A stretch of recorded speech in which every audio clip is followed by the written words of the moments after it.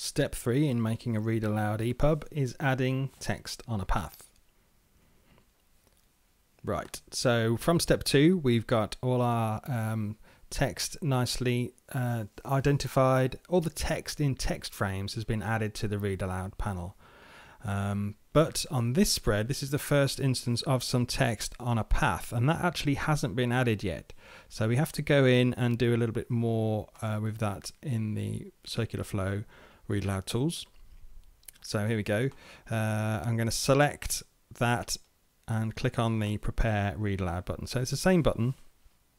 Um, and it's just saying I've now got a selected text on a path and it confirms the page. So yes, okay. I click on that and you can see it identifies, it knows that it's text on a path, it knows where it is and it actually takes the word from the text on the path. But sometimes, as in this case, depending on the styling, you might have to adjust a little bit because this is actually going to turn it into a, graphic for later on. So that's that's all we need to do. Um, this next spread, however, gets a little bit more uh, exciting because this is the most sort of complex spread of the book. So if I'm a good shot, I can um, select more than one of these. So if I select that one and that one, there we go. Um, prepare read aloud. So I've selected two text on the path. It says selected two text on the paths for page 12. Okay. And it's going to identify each word. Uh, check it out. There you go. And you can see there it's not quite uh, managed to get the the boundaries of the words. And what we're trying to do here really is to split individual words into their own regions. Now that's going to be fine um, let me show you. If I drag that over here, there's the, the word check it is not in the same area as the out, so that's okay. Doesn't matter if it overlaps. Sometimes that might be an issue. And if I do it in the reading order, then I don't have to adjust that later on. So uh, let me just move that up here. And so check it out, pretty amazing here. So I'll select that one, click the same button, prepare read aloud button.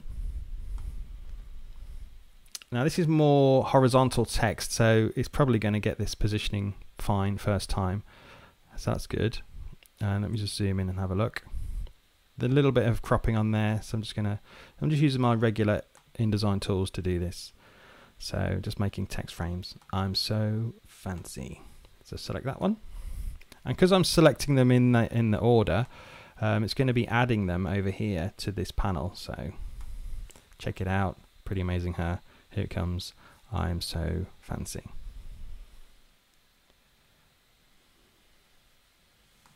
All right, a bit of tidying up to do here. So that's why this is this is a good example. Oh, oh yeah, and this is a case where actually I'm has got a little tiny bit of the so in there, so I would just take that in a little bit. I'm so fancy, and on this one I'll just make that bigger. Um, you can actually use other tools. You could use your pencil tool or your pen tool to be changing these. They're just InDesign frames. Um, so maybe I'll do that on another one just to show you that. So and over here, I'm on a, new, on a new page now. So if I click this one, way better than a ribbon. It should identify, yeah, two paths now on page 13. Okay, so it's going to do its stuff. Um, I will switch to the pencil tool to tidy up this one, I think. Just waiting for it to add it to the read aloud panel.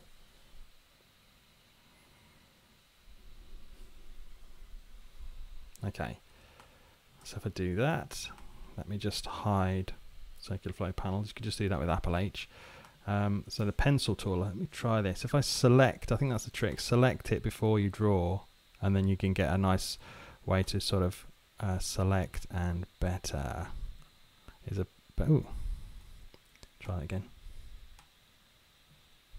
Mm. Better, that's better. um, and this one, it's going to select the box. I don't really need to do it on this one, but I'm now on that tool. There we go, than a ribbon. And I'll just do these back on the regular selection tool. Way better than a ribbon. Don't you love it? So switch back to CircularFLO, click on the prepare read aloud button. It confirms what that's what I want to do.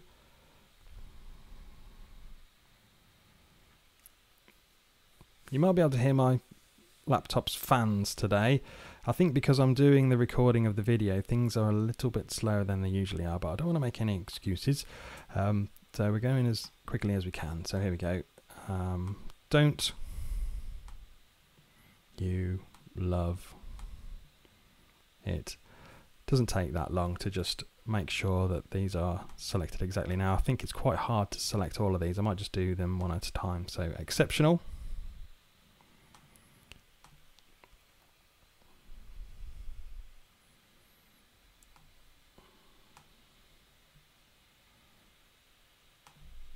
And next one is don't you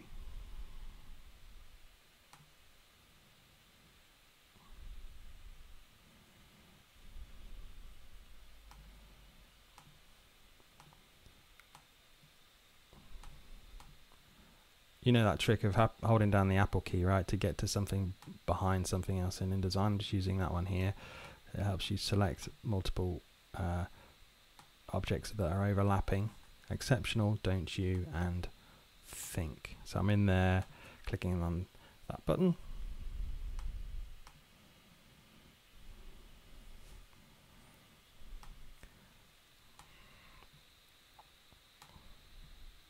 There we go. I'm just going to drag that over here to show you. So don't, exceptional, you think, etc. Okay, so that is that whole complex spread, both left and right hand pages done, and all the text is in the right order. Cool. Let me carry on. Uh, there's a little bit more of uh, text on a path. Here's some. So, oh no, where is my beautiful gold horn? So I'm selecting that, clicking on that button.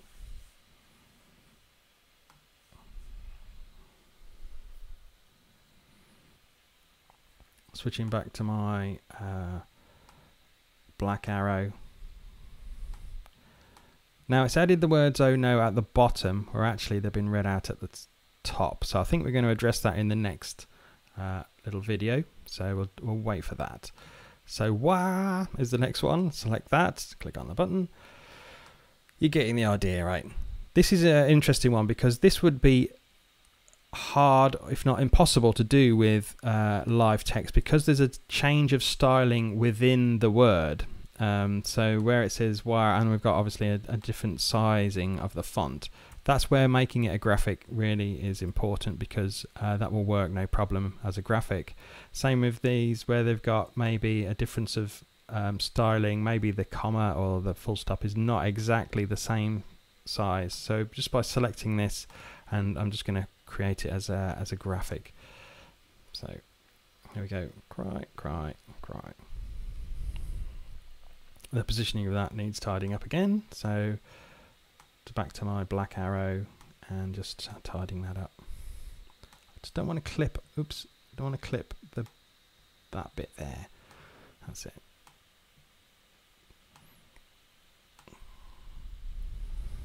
Okay, I think we're nearly done. Let's have a look.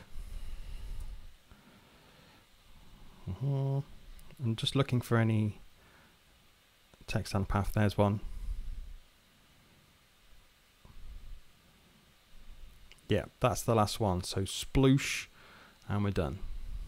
Okay, so this is preparing all of the text on the text on a path. where's it gone?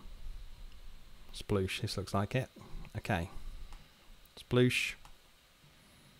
Prepare read aloud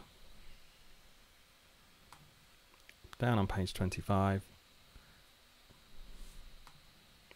back to my black arrow. Sploosh. Done. Great. Okay on to the next step